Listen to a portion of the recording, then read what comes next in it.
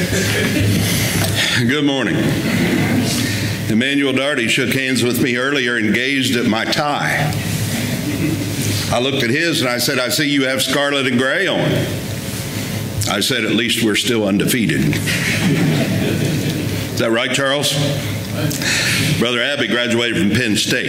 And if you don't follow football, they beat Ohio State last Saturday. but enough of that. I very much appreciate the opportunity to be here. Appreciate Andy and the lectureship committee inviting me, and appreciate the good elders of this congregation who put forth the effort to maintain this school, uh, which is training young men to go out and preach the gospel and and uh, and the lectureship as well. You know, when I was younger, I suppose like all of us. Uh, you think, well, I need to be invited to a lectureship because that means I've made it. You know, I lost that feeling a long time ago. Uh, young men, you know, we all, I guess, have that little bit of an ego when we start out.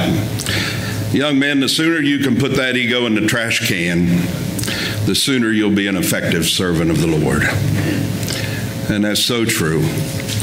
And that, that's what it's all about. You know, I appreciate lectureships. Uh, I learn from them, uh, appreciate the opportunity to speak.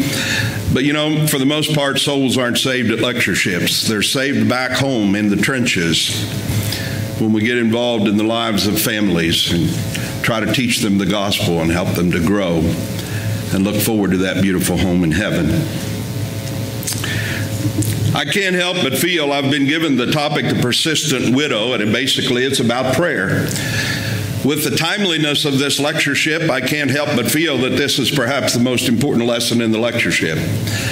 Because with the situation of our country and the upcoming election very soon, we need to pray. And we need to understand the importance of prayer. A boat left the harbor went out on the ocean, set out for a predetermined spot. When it got out there, they stopped, anchored up. Boat had a lot of equipment on it. Pretty soon, a man began to put on an outfit, a suit. The suit covered his whole body, and he put a helmet over his head, and it was all sealed up, so he was sealed off from the elements. He then slipped over the side of the boat, gradually descended to the bottom of the ocean, began to walk around, explore a little bit. What kept that man alive? What kept him from drowning in the ocean? We all know the answer. There's a line that comes out of his helmet that goes up to the top of the ocean, up to the boat above. And on that boat is equipment that pumps life giving air through that line into his helmet so that he can breathe and stay alive while down there in that ocean. That's how I think of prayer. You and I are that diver. We're down here in this world surrounded by sin, surrounded by temptation, surrounded by the cares of life that just simply want to choke out of us the spiritual air that we breathe. But we have that airline, that lifeline, if you will, to the top through which we can talk to the Father. And we can let Him talk to us through His Word. And just as that diver in the sea, if that airline is for any reason cut off, he won't live very long. The same with us. If we sever that lifeline of communication with the top, we're not going to live very long spiritually. It will cut off the very spiritual air we breathe. We need to understand how important prayer is. I believe it's that necessary to our Christian lives. This parable is found in Luke chapter 18. Just before that, in Luke chapter 17, Jesus spent time discussing his second coming as well as the coming of the kingdom. Well, verse 20 tells us that the Pharisees were asking him when the kingdom would come. He didn't directly answer him or answer them, but it was obvious they were looking for a different kind of kingdom than the one that our Lord promised and delivered similar to his disciples in Acts chapter 1 verse number 6, when right before he ascended from them back into heaven, they said to him, Are you at this time going to, you know, reestablish the kingdom in Israel? And Jesus basically told them just simply, It's not the time for you to know. But he said, When the Spirit comes upon you, then you'll understand things. No, they were looking for a physical restoration of the kingdom of Israel. They were looking for a, a Messiah who would lead them like David into victorious battles against the other nations. And Israel would once again stand strong as a mighty nation. That's not what Jesus promised. That's not what he brought. That's not what God planned. God brought a spiritual kingdom instead. Jesus didn't directly answer them, but he did tell them that the coming of the kingdom was not physical in the sense that it could be seen. However, he did proceed to teach them the importance of preparing their lives and being ready for eternity. He told them that judgment was going to come. He told them that the wicked would be punished. And he even indicated this and illustrated it by a mental image of birds of prey gathering together to feast on dead bodies.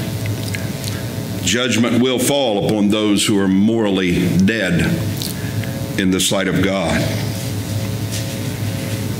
Part of that preparation, part of that faithfulness to God is in that airline to the top that constant prayer that is a part of our lives. We're not going to stay faithful to the Lord without it. And so he told this parable to them. And it says in verse, chapter 18, verse 1, then he spoke a parable to them. The word then ties it in with what he had just talked about. And so he, he was telling them this parable to help them understand the importance of preparation for that second coming. Jesus gave this parable to emphasize the importance of prayer and the fact that we should never give up praying to the Father. Been a lot of prayers go up for our country. We need a lot more.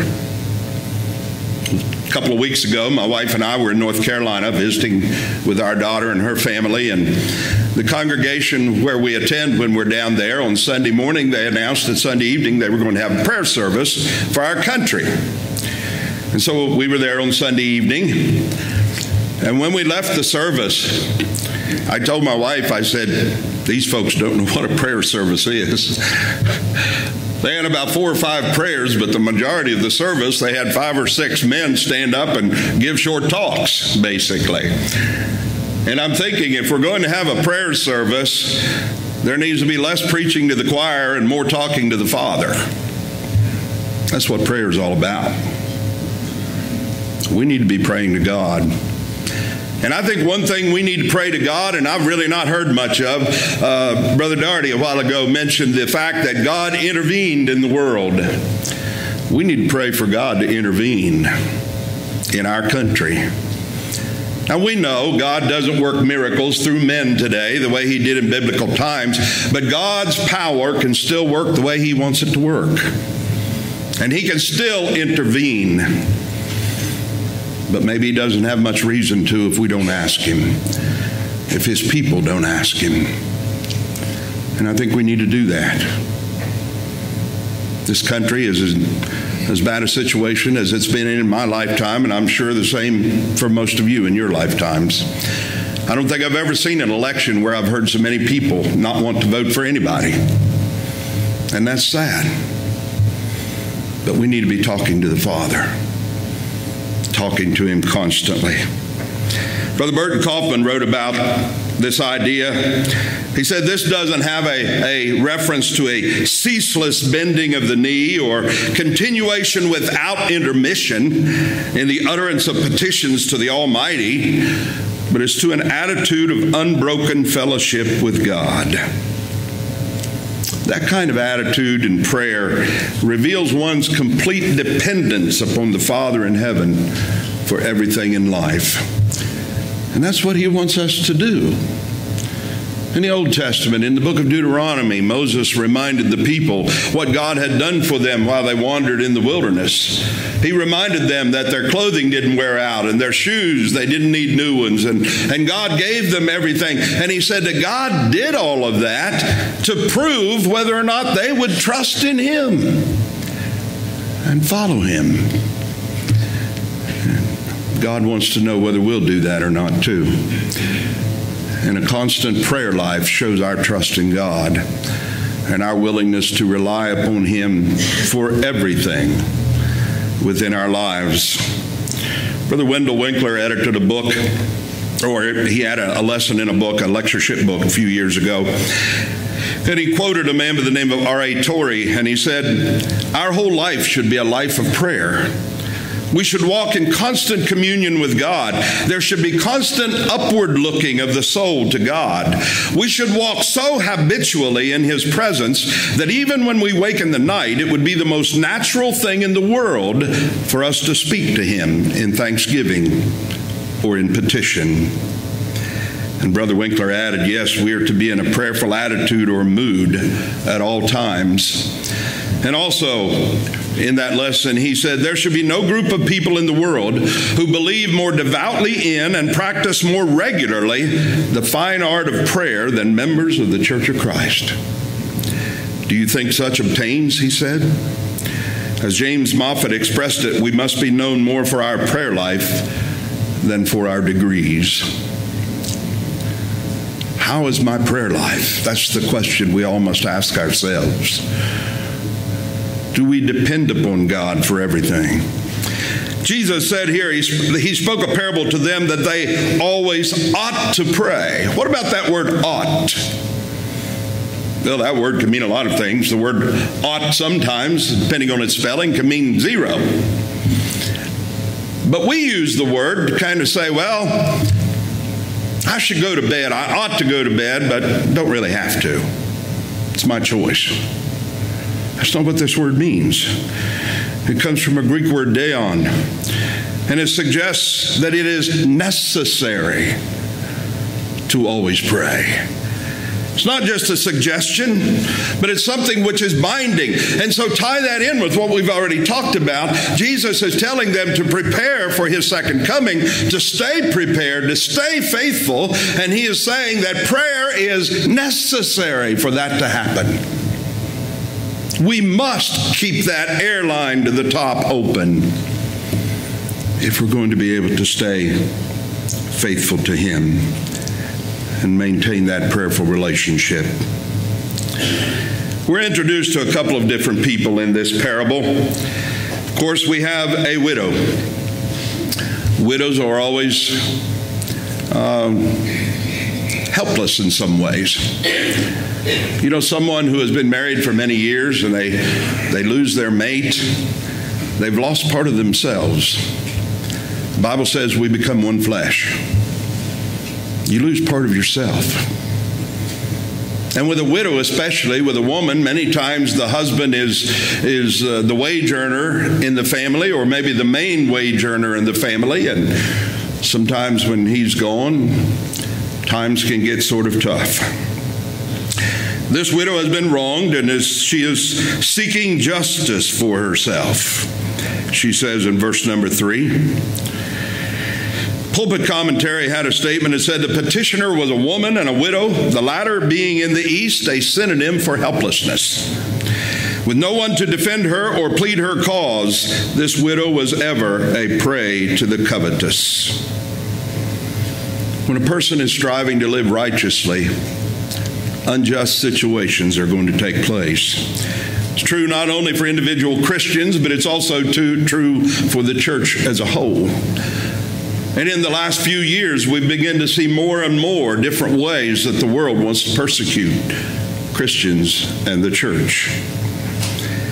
And just like that widow, the church has no one to plead her cause other than Christ.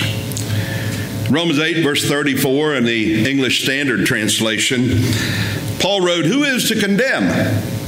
Christ Jesus is the one who died, more than that, who was raised, who, at, who is at the right hand of God, who indeed is interceding for us. That widow needed, she didn't have anybody. She had to go to that judge. We have somebody. We have our, our spiritual brother, Jesus, the Son of God. I've often talked about the decay of our country, especially concerning moral issues, and, and especially in the last 10 to 15 years. It just seems like it's a great big old snowball rolling down a mountain, getting bigger and getting faster by the moment. It's just amazed me. Things that we've seen in the last 10 years, I never in my lifetime 30 or 40 years ago ever thought I would see. Maybe we just had our heads stuck in the sand, so to speak. But there are things we are seeing today that we could never imagine, I don't think. And it's just getting faster and growing bigger all the time.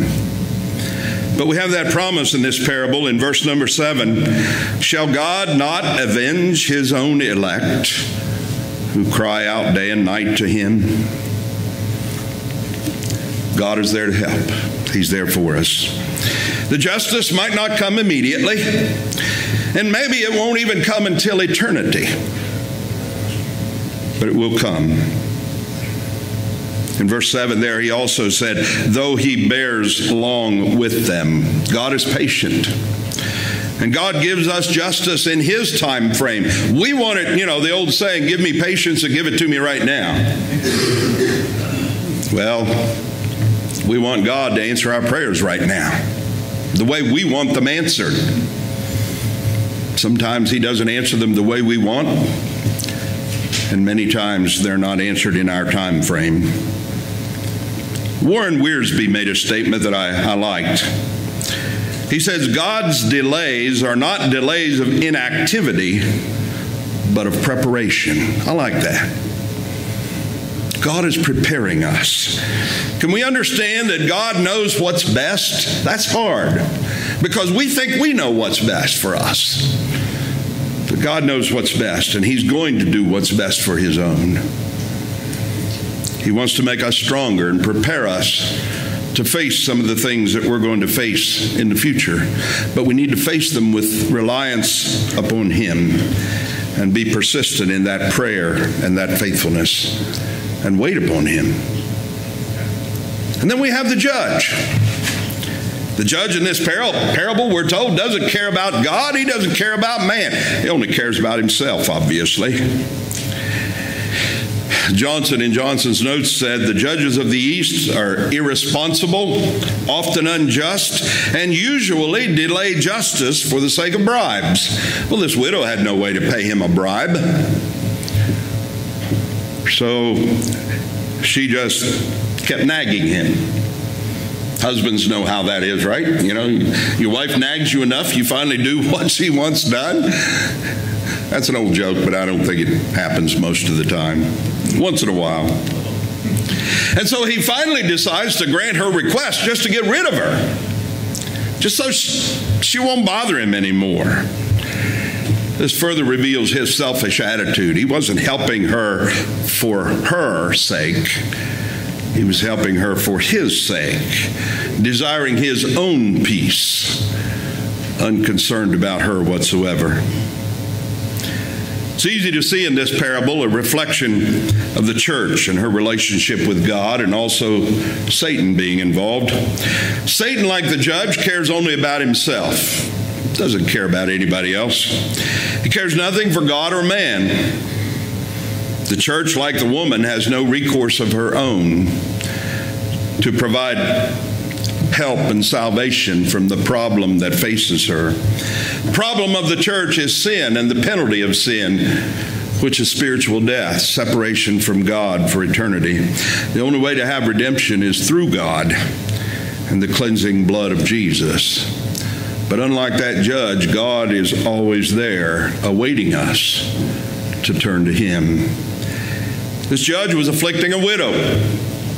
That was wrong. A widow is often defenseless against the problems she faces, and, but God has always expected compassion upon those who are helpless. The widows and the orphans, constantly we read about in His Word. Isaiah wrote in chapter 1, verse 23 Your princes are rebellious and companions of thieves. Everyone loves bribes and follows after rewards. They do not defend the fatherless nor does the cause of the widow come before them. They didn't care. God was very specific about it in the Old Testament law. We find him saying in Exodus chapter 22 You shall not afflict any widow or fatherless child. If you afflict them in any way, and they cry at all to me, I will surely hear their cry and my wrath will become hot, and I will kill you with the sword. Your wives shall be widows, and your children fatherless. That's pretty strong. You know, there was some strong language in the Old Testament, wasn't there? A child who cursed his parents was put to death. Be a lot less children around today. If that were still in force, be a lot less people around today, period, if the Old Testament law was still in force.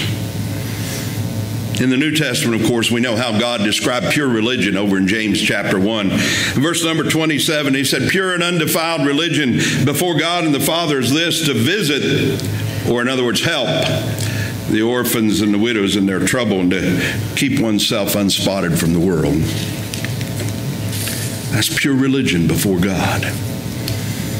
Dan talked about doing things a while ago with the Good Samaritan the importance of doing things, showing our faith in God. The Hebrew writer talked a lot about that in chapter 11 of Hebrews, didn't he? Quite a contrast we see between this judge and God. Sometimes when we study the parables, we like to try to apply certain things to, to other things, and it's, it's hard to do sometimes. You can't do it directly. There's no way you can say this judge represents God because there's a huge contrast between this judge and God. The judge grants her request out of his own selfishness. We find what he said in verse number five. Yet because this widow troubles me, I will avenge her, lest by her continual coming she weary me, the New King James says. Well, the Greek, the, uh, Greek word there is hupopiazo, uh, and it's a term used in fighting, pugilistic term. And this phrase, she weary me, can be understood as giving me a black eye, as Barnes said in his commentary. Oh, he wasn't concerned about her actually hitting him, I don't think. He was more concerned about his reputation. We use the term black eye in that sense sometimes. Somebody gives somebody a black eye, they, they hurt their reputation. He was afraid the widow's continual coming to him would look bad to, to the people around, or what she might even say to other people about him. However, in contrast to the judge, we're told in verse number eight that God will avenge his own speedily. We know this is because of his love and his care for each of his children, for his church as a whole. That judge didn't care about anybody, but God cares about us. He wants us to talk to him. Why would he give us a parable telling us to do that if he didn't want to listen to us? Something that boggles my mind, and I'll never understand it, and you won't either. And that is, every person in this world could talk to God at the exact same time, and God would hear each and every individual prayer. No way we can understand that. But we know it's true because He cares. Lockyer, in his book about the parables, he said, Coming to our Lord's application of his parable, it may be surprising to find that he compares the dealings of God with those not of a good man, but of a bad man, a godless man. But this feature adds force to the parable. What a contrast between all the judge was and God is not. All that God is, the judge was not. God is exactly the opposite to all the judge was in character. And we can be thankful for that. God is ready to listen. The judge didn't care about God or man, but you know, those who do care about God also care about man. Albert Gardner said, Who builds hospitals? Who builds and operates orphans' homes and homes for the aged? It's people who believe in and fear God. Those who fear God usually also regard man. That's so true, isn't it? We do it because God does it. We care because God cares. We listen to others because God is ready and willing to listen to us. And we need to talk to Him. So, what lessons can we learn from this parable? Number one, judgment's going to come. Preceding the parable, Jesus talked about that.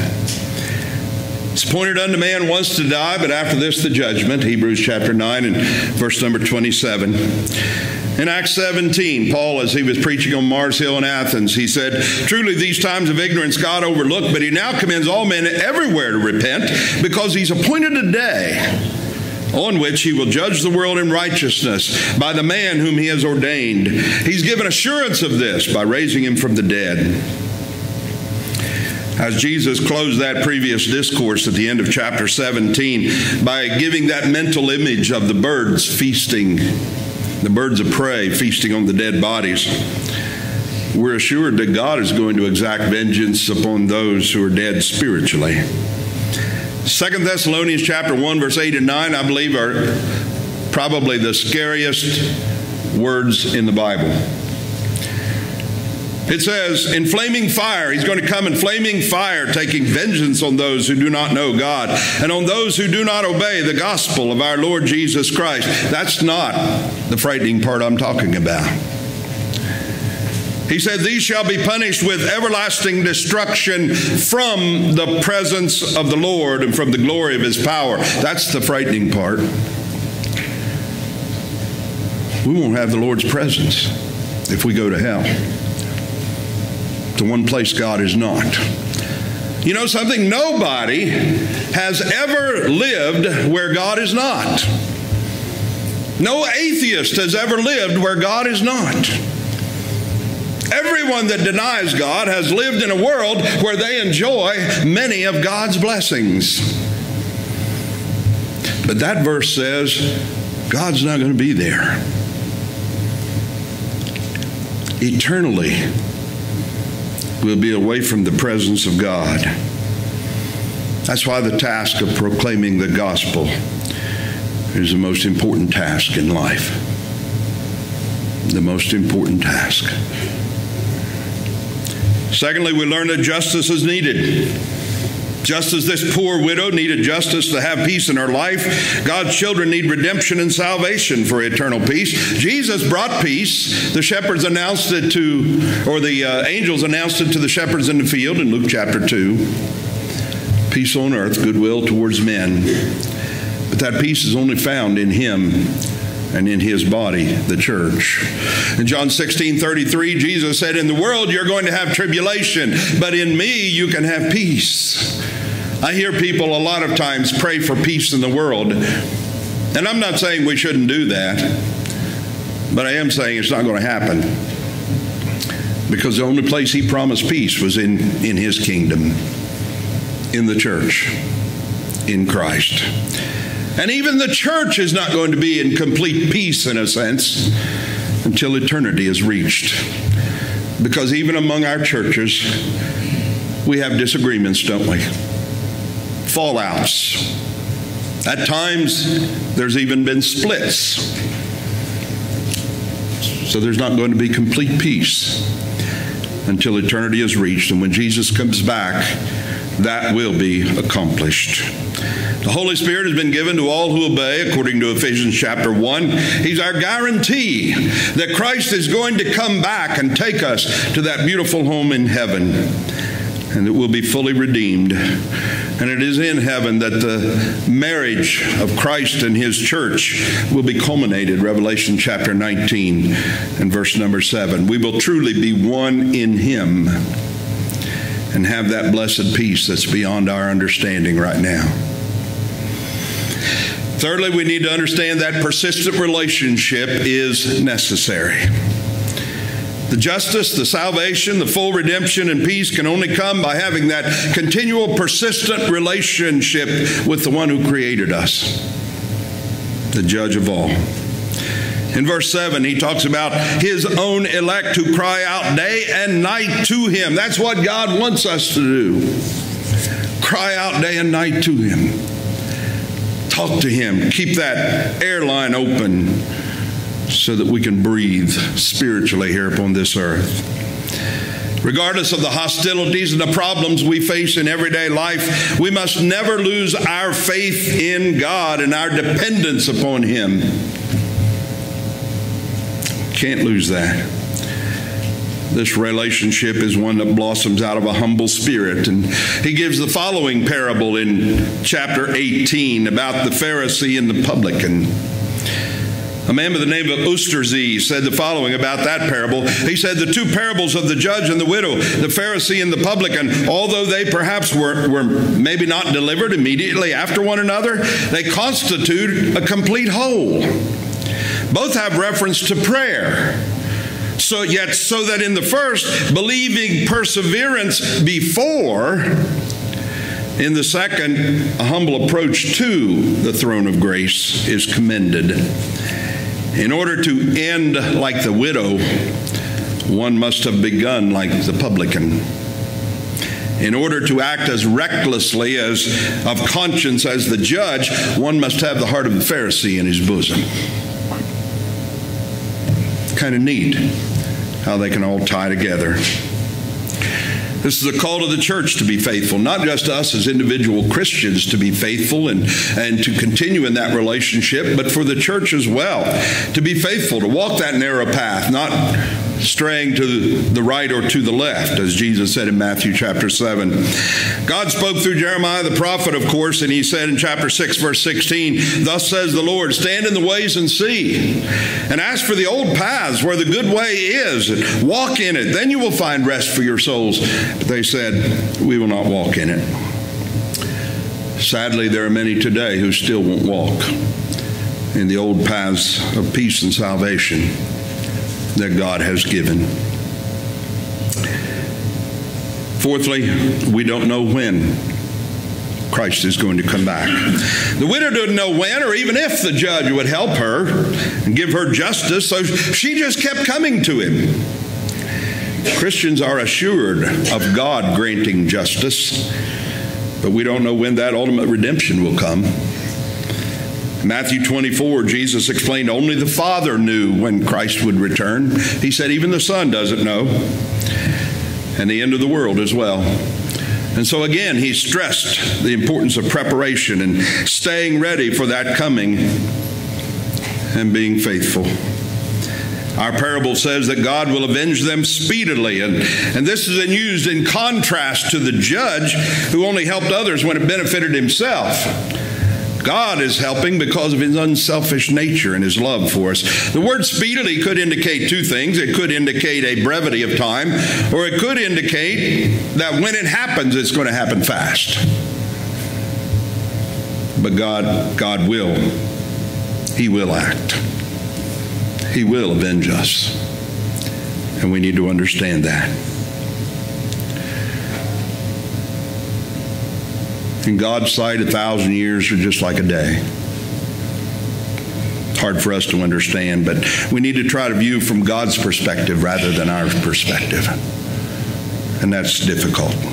But He's always ready and willing to help. But the last lesson, I think, will He find us faithful? Kind of an unusual statement at the end of the parable. Nevertheless, when the Son of Man comes, will he really find faith on the earth? He had told them he was going to come, his second coming, judgment was going to come. He said, You need to prepare, you need to stay prepared and be ready and be faithful. But when I come, am I going to find you faithful? Am I going to find you faithful? Gardner said Jesus is not commending the judge, but he is commending the widow for persistence. She had a just cause, she wouldn't give up. We often become tired doing right and quit. Galatians 6 9 tells us not to, not to give up, not to quit. This widow didn't do that. Remember, the purpose of the parable is to teach that we should not give up, but that we ought, must always pray so easy to stop praying. We're hindered in persistent prayer through, Gardner said, through pain, discouragement, doubt, secret sin, disappointment, or by being so greatly outnumbered. But yet the Bible tells us in this parable that men ought always to pray and not to faint. I've often said to somebody that doesn't believe in God, they, they look at somebody praying and they probably think they're crazy. I mean, they're talking to the air. But we know it's more than that. We know there's a creator, a father that we're talking to. We can't see him. But sometimes it's easy to forget about that and to kind of give up. Sometimes we look and think our prayers aren't doing any good, and so we quit praying as much. That's not the way to stay faithful.